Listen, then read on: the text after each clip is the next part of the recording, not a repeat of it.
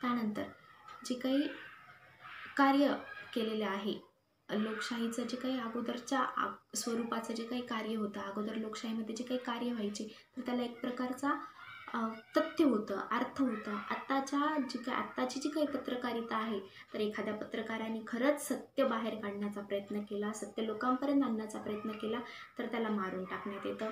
त्याच्या फॅमिलीला त्रास देण्यात येतो. हे काही कॉमन त्यांच्यावर अन्याय अत्याचार इनडायरेक्टली करण्यात येतो.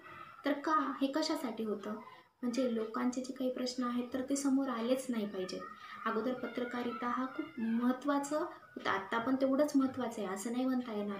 पण परिस्थिती बदलत चाललेली आहे. तर पत्रकारितेकडे आता लोक एक बिझनेस म्हणून पाहायला लागले. ते काही उच्चवर्णीय लोकांच्या हातात त्याची मालकी असल्यामुळे त्यांच्यासाठी हा एक प्रकारचा बिझनेस झालेला आहे. आता कोरोनाच्या काळामध्ये तर एक प्रकारचं काहूर माजून गेलं होतं. फक्त आणि फक्त कोरोनाच्या बातम्या. एकतर वृद्ध लोकांनी त्या बातम्या पाहून पाहून कितीतरी लोकांचे घाबरून कितीतरी लोक डेथ झालेले आहेत कोरोना काळामध्ये. तर ह्या ह्या सगळ्यांचा परिणाम फक्त आणि एक पेपरमध्ये वेगळीच घटना यायची टी व्हीवर माध्यमं वेगळंच दाखवायची ह्या चॅनलवरती वेगळं त्या चॅनलवरती वेगळं कशाचाच एकमेकांशी ताळमेळ लागलेला नव्हता. तर एकदम वाईट परिस्थितीला ही घटना आलेली होती.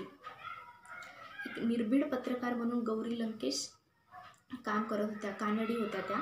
तर त्यांची हत्या जी आहे तर एक एकदम वाईट प्रकारे त्यांची हत्या करण्यात आली. का? तर सत्य लोकांसमोर का आणायचं? सत्य प्रत्येक घराघरामध्ये प्रत्येकांसमोर सत्य गेलं नाही पाहिजे ह्यासाठी त्यांचा आवाज दाबण्यात आला. एक भांडवलशाही जी आहे तर ती त्या लोकांचा आवाज दाबते. एक प्रकारचा अन्याय अत्याचारच आहे. तर त्यासाठी जेव्हा बाबासाहेब पत्रकारिता करत होते तर निर्भीड आता पत्रकारितेमध्ये जे काही आहे तर ते दर्पण पुरस्कार देण्यात देण्यात येतो. बाळशास्त्री जांभेकरांच्या नावाने. पण खरे निर्भीड पत्रकार बाबासाहेबाला म्हणण्यास आपणास काहीच हरकत नाही. ज्यावेळी वेदोक्त प्रकरणानंतर केसरीमधून लोकमान्य टिळकांनी शाहू महाराजावर टीका केली होती की शाहू महाराज तुम्ही हिंदू धर्मात ढवळाढवळ करण्यात केली तर तुमचा जायक आणि वॅटसन करण्यात येईल. तर त्यावेळी बाबासाहेबांनी मूकनायकामधून त्यांना उत्तर दिलं की टिळक तुमच्यासारखा माणूस जर जर्मनीत जन्माला आला असता तर मी त्याला गोळी घालून ठार केले असते म्हणून. तर इतकं निर्भीड पत्रकारिता जी आहे तर ती एक निर्भीड प्रकारची पाहिजे.